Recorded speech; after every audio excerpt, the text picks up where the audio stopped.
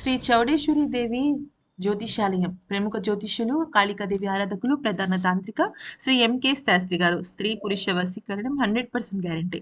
మీకు ఎటువంటి సమస్యలు ఉన్నా కాళిక దైవశక్తి పూజల ద్వారా పరిహారం చేయగలరు. మీరు సంప్రదించవలసిన phone number eight zero five zero seven four five one two one. ఈ వారం కెప్టెన్సీ పోటీదారుల టాస్క్ చాలా రసవత్రంగా మారింది. ముఖ్యంగా అసలు పోటీదారులుగా ఎవరు పోటీ చేయబోతున్నారనే విషయం మీద కూడా ఇంటి సభ్యుల మధ్య బాగా పెద్ద పెద్ద చర్చలు నడుస్తున్నాయి.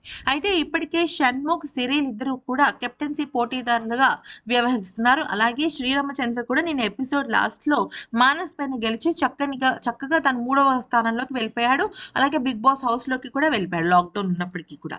ఇక ఆ తర్వాత నాలుగవది ప్రియాంక సింగ్ అనీ మాస్టర్లో అనీ మాస్టర్ గెలు గెలవడం జరుగుతుంది. సో అనీ మాస్టర్ నాలుగవ పోటీదారులుగా వ్యవహరించినట్టయితే ఐదవ పోటీదారులుగా జెస్సీ వ్యవహరించిపోతున్నాడండి. అయితే ఇక్కడ అతి పెద్ద ట్విస్ట్ ఏంటంటే ఇప్పటికి మనకి ఐదుగురు ఇంటి సభ్యులు వచ్చారు కదా. నిజానికి బిగ్ బాస్ ఏమన్నాడు? ఐదు సార్లే బజర్ మోగుతుంది. ఐదుగురు పార్టిసిపెంట్స్ మాత్రమే పోటీ చేయగలరని అన్నాడు కదా. కానీ అనూహ్యంగా ఇక్కడ మానస్ కూడా కెప్టెన్సీ పోటీదారుడుగా మారిపోయాడు. అంతేకాకుండా సన్నీ కూడా కెప్టెన్సీ పోటీదారుడు అయ్యాడు. అంటే ఇప్పుడు గనక మనం చూసినట్టయితే ఇక్కడ జెస్సీ గెలిచినప్పటికీ కూడా పోటీదారుడిగా మారలేదని సమాచారం వచ్చింది. సో ఆరుగురు మాత్రమే పోటీదారులుగా వ్యవహరించబోతున్నారు.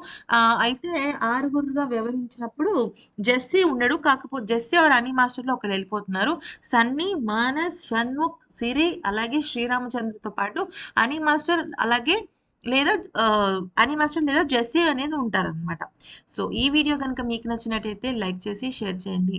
అంతకన్నా ముందు ఛానల్ని సబ్స్క్రైబ్ చేసుకోండి.